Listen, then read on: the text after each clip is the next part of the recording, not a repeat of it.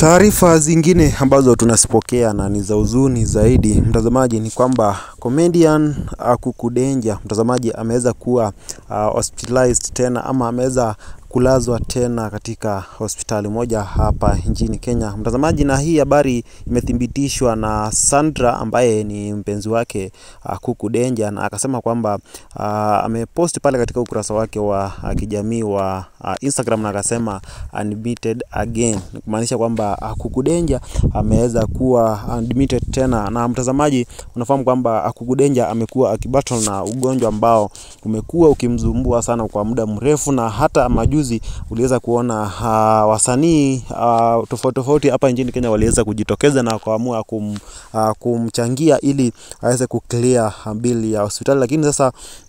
ndio hivyo tunaona tena amekuwa mgonjwa tena, na sisi kutoka hapa Jetan Media tunasema uh, tunamwombea ama tunamwish uh, quick recovery mtazamaji, na aweze kupona haraka iwezekanavyo.